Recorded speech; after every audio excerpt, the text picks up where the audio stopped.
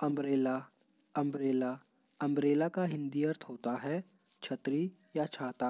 आइए दोस्तों, आज हम इस वर्ड को समझेंगे कुछ एग्ज़ाम्पल के साथ।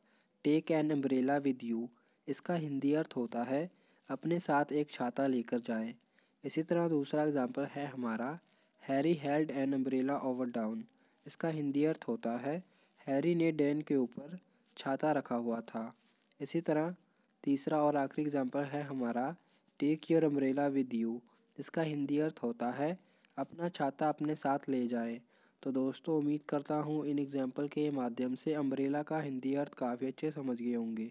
तो दोस्तों, ऐसे ही अंग्रेज़ी शब्दों को हिंदी में समझने के लिए आप हमारे इस यूट्यूब चैनल को सब्सक्राइब भी कर सकते हैं।